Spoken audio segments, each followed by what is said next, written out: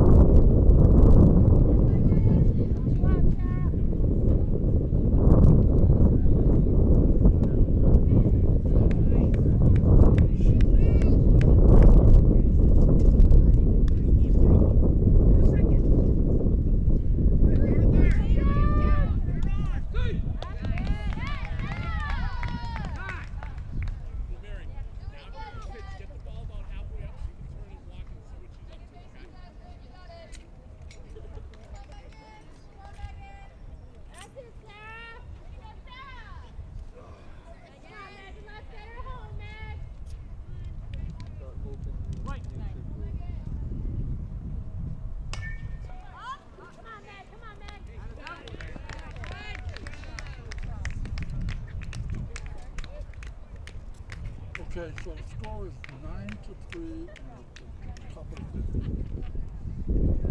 Top of the fourth, I believe, isn't it?